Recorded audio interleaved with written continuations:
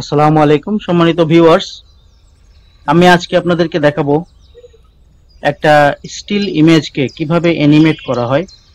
আপনারা আমার মনিটরে দেখতে পাচ্ছেন যে একটা ইমেজ ডান দিক থেকে বাম দিকে যাচ্ছে।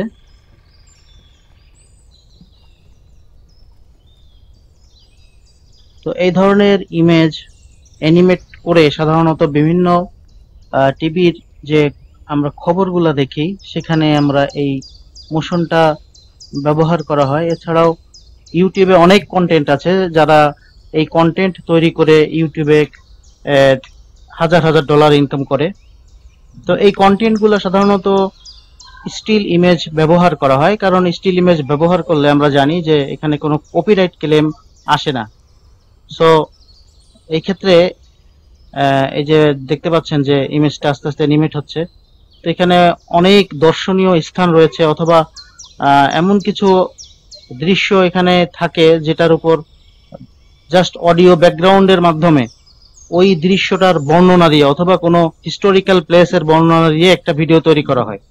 তো এই ভিডিওটা যখন ইউটিউবে ছাড়া হয়, দেখা যায় অনেক ভিউয়ার এখানে লাইক বা কমেন্টস করে। তো এটা একটা সিস্টেম আমি আপনাদেরকে দেখাবো যে কীভাবে এই কন্টেন্টগুলা তৈরি করা হয়।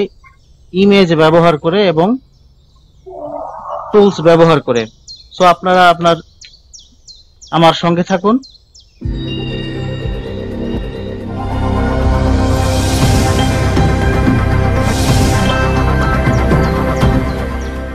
সো আমরা এখন ফিরে যাচ্ছি ভিডিও টিউটোরিয়ালে তো আজকে হচ্ছে আমার ফিফথ ক্লাস অর্থাৎ জুম এবং মোশন এই দুটার ব্যবহার একসঙ্গে করলে কেমন হয়, কীভাবে এটা করা করা যায় আমি সেটাকে দেখাবো। তো আমি একটা ইমেজ ফার্স্ট ইনসার্ট করি। এই ইমেজটা আমি দেখিয়েছিলাম। হ্যাঁ এসছে। তো এই ধরনের ইমেজগুলা প্যানারমিক হয়ে থাকে সাধারণত। প্যানারমিক ছাড়াও করা যায়। তো প্যানারমিক ইমেজ আপনারা ভালো করে জানেন, এটা অনেক বড় হয় ওয়াইড স্ক্রিন অর্থাৎ অনেক দূরের দৃশ্যগুলাকে ধারণ করা যায়। তো আমি এই দৃশ্যটা দেখতে আমি আনুমানিক ওখানে অনেক সময় নিয়েছি।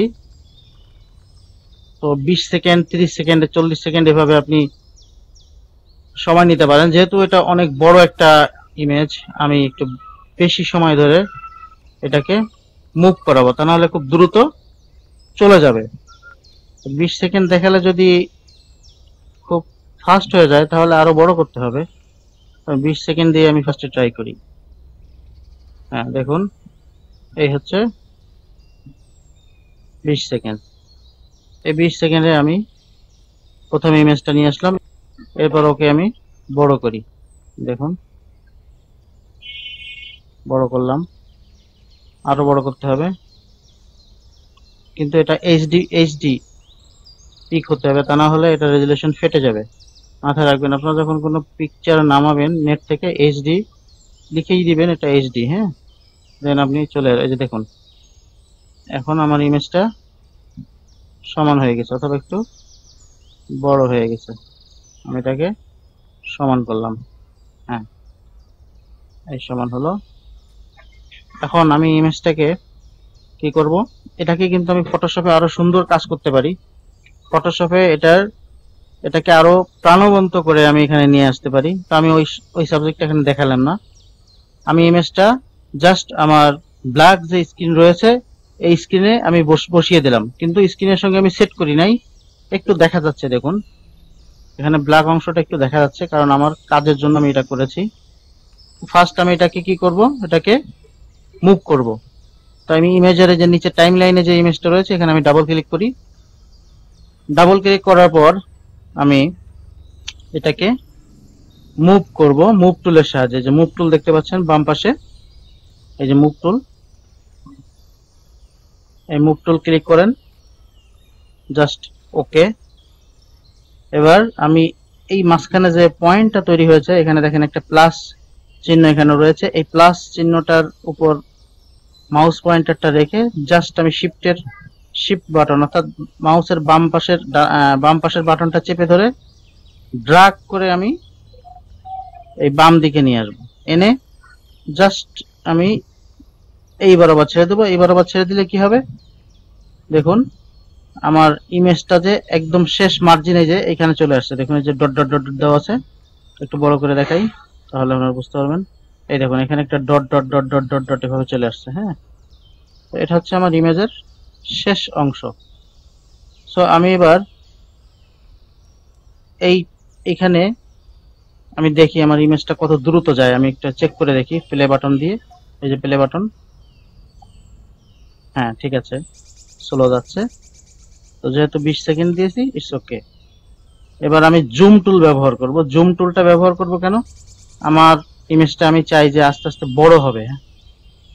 অর্থাৎ এখন যেমন আছে, তার থেকে যখন শেষ অবধি চলে আসবে, তখন অনেক বড় হয়ে যাবে। আমি ভিডিও ট্রান্সফর্মস এইখানে জুম আছে। জাস্ট ওকে দিলাম। জুম যখনই আসবে, দেখবেন যে ডান পাশে প্রপার্টিস উইন্ডোতে এখানে জুমের অপশন চলে আসছে। তো আমি এইগুলাকে যে সমান যে দাগগুলো দেখছেন, এগুলোকে আমি ভেঙে ফেলব। এই যে আমি ক্লিক করলাম, ভেঙে গেছে, দেখুন। একদম কোনাকুনি। এই যে কোনাকুনি হয়ে গেছে। আর আমি ওয়াই লেভেলটা অর্থাৎ ওয়াই মানে হচ্ছে এই লেভেলটা এই লেভেলটা বড় করব না। ওয়াই লেভেল হচ্ছে এই লেভেলটা এটা আর এক্স লেভেল হচ্ছে এইটা। আমি এটা বড় করব। বাট এইটা যেমন আছে, তেমন রাখব। আমার এটা দরকার নেই। এটা আর বড় করার কোনো প্রয়োজন নাই। সো আমি চাচ্ছি যে আমার এই লেভেলটা প্রথমে একশো যা আছে, একশোই থাকবে। যখন শেষের দিকে যাবে, তখন এটা একশো পঞ্চাশ হয়ে যাবে। সরি একশো পঞ্চাশ। একশো পঞ্চাশ। হ্যাঁ একশো পঞ্চাশ হয়ে যাবে। এখন আমি যেটা করব, সেটা হচ্ছে যে এই যে মুভমেন্ট যে বাটনটা দেখছি, আমার এই বাটনটা আমি ঠিক এই মাউস পয়েন্টারকে লাস্টে নিয়ে যাব। একদম শেষ, শেষে, যতক্ষণ পর্যন্ত ইমেজ দেখা যায়।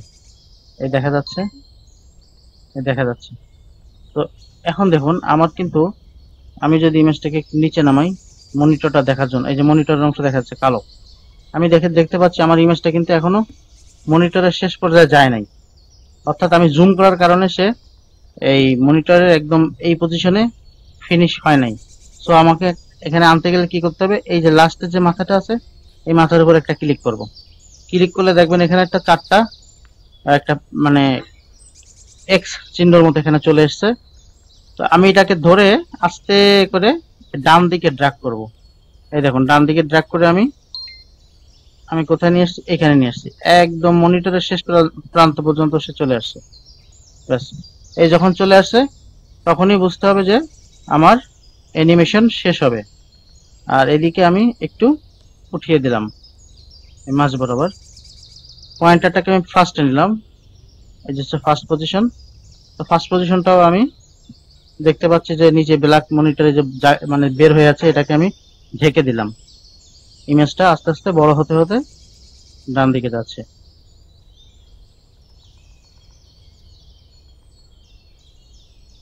অনুরূপভাবে আমি বাম দিক থেকে ডান দিকে নিতে পারি। ছোট থেকে বড় বড় থেকে ছোট কর- করতে পারি। হ্যাঁ এটা শেষ। তো বন্ধুরা, আমার মনে হয় আপনারা বুঝতে পেরেছেন যে কীভাবে ইমেজ অ্যানিমেট করা হয়। আমি অন্য আরেকটা ইমেজ দিয়ে আপনাদেরকে দেখাই। এবার দেখাবো আমি বাম দিক থেকে ডান দিকে নেওয়া। এটাও খুব সহজ একটা পদ্ধতি। আমি এই ইমেজটা নিচ্ছি। এই ইমেজটা এখানে নিলাম। দেখুন। ছোট আছে আমি এটাকে বড় করব। হ্যাঁ ইমেজটাকে সেম এটার সমান করি তাহলে আমার সুবিধা হবে। আমি ইমেজটা এখানে বসিয়ে দিলাম। তো আমি ঠিক সেম কাজটা করব আমি ফার্স্ট এটাকে কি করব? এটাকে বড় করব। এটাকে বড় করতে গেলে আমি মনিটরটাকে হ্যাঁ, এই যে এখন একটু ছোট আছে। মনিটরটা আমি এই যে সমান করলাম এখন। তো ইমেজটাকে আমি এভাবে বসালাম, ঠিক এভাবে বসিয়ে আমি এট ফার্স্ট আমি জুম টুলে ইমেজটাকে আমি প্রথমে কি করব? মুভ টুলের সাথে মুভ টুল ব্যবহার করে, এই যে মুভ টুল এটা ব্যবহার করে আমি এটাকে টেনে নিয়ে যাব ড্র্যাগ করে। তো এই দেখুন যে প্লাস চিহ্নটা এসছে, আর মাঝখানে একটা পয়েন্টার তৈরি হয়েছে। এই পয়েন্টারের উপর ক্লিক করে জাস্ট মাউস পয়েন্টারটা চেপে ধরে আমি আস্তে করে ডান দিকে ড্র্যাগ করব। ড্র্যাগ করে আমার মনিটরটা যতটুকু পর্যন্ত এসছে ততটুকু পর্যন্ত নিতে হবে। তো তার আগে আমি একটু দেখে নিই, আমার মনিটরটা ঠিক মতো জায়গায় হ্যাঁ এবার ঠিক আছে। একটু ব্ল্যাক অংশটা বের করে রাখলে আমার মেজারমেন্টটা সঠিক হয়। তো দেখুন এবার আমি যদি এটাকে প্লে করি, তাহলে সে বাম দিক থেকে ডান দিকে যাচ্ছে। বাম দিক থেকে ডান দিকে যাচ্ছে। তো সেম ওয়েতে আমি এটাকে জুম জুম টুল ব্যবহার করে করে আমি জুম টুল ব্যবহার করতেছি এটা চলে এসছে। একশো থেকে একশো পঞ্চাশ হয়ে যাবে।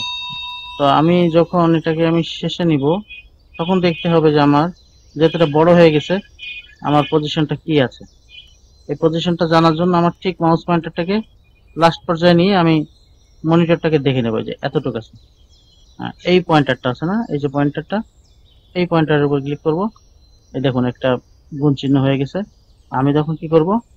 উল্টা দিকে নিয়ে যাব। উল্টা দিকে নিলে ও সরে যাবে। সরে একদম পজিশন মতো বসে যাবে। দেখুন, বসে গেছে। সো আমি তখন এটাকে জায়গা মতো বসিয়ে দিলাম। হ্যাঁ দেখুন, এটাও কিন্তু জায়গা মতো বসিয়ে দেবো আমি। হ্যাঁ। সো দেখি এবার কি হয়।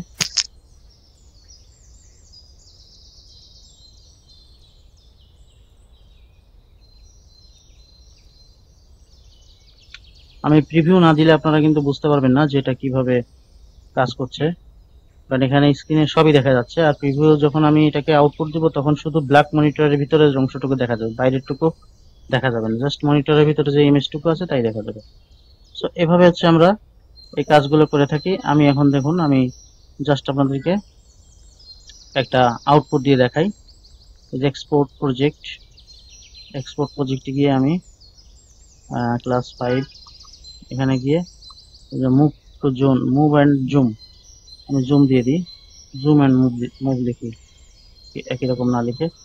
সো এটাকে আমি এখন যদি প্রিভিউ করি, দেখুন, আমার প্রিভিউটা কিন্তু এইখানে আসবে। এই যে এখানে, এই প্রিভিউটা রিয়েল ভিউটা এই যে এসছে, দেখুন।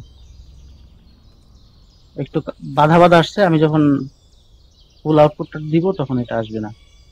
তো দেখুন, কি সুন্দর দেখা যাচ্ছে যে আমি একটা শহরের এ মাথা থেকে ও মাথা পর্যন্ত ক্যামেরার ব্যবহার করে কীভাবে ইমেজটাকে নিলাম? এটা হচ্ছে জাস্ট আমি এক্সপোর্ট প্রজেক্টে গিয়ে কন্টিনিউ দিলে আউটপুটটা চলে আসবে।